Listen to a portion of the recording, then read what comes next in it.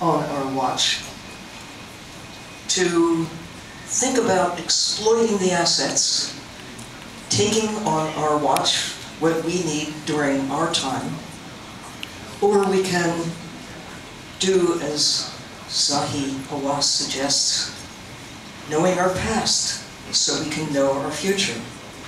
We can look back to a time, and it wasn't that long ago. There were no ships taking anything out of Antarctica in 1800.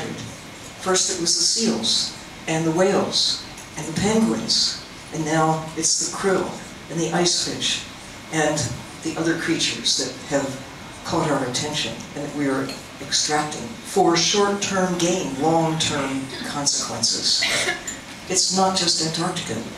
It's the global ocean that is now open to us in ways that our predecessors could not imagine. We have access to the sea.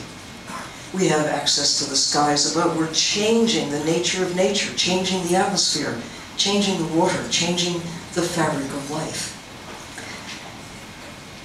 On the other end of the world, in the Arctic, we now know what we could not know when I was a kid. We didn't have the data, didn't have the information, could not make the measurements that are now available to us to see what our impact on our this envelope that keeps us alive. We have a chance to reverse these trends. We probably can't put things all the way back to way they were in 1800 or 1900 or even the year 2000, but we can make them better than they otherwise would be if we just go business as usual.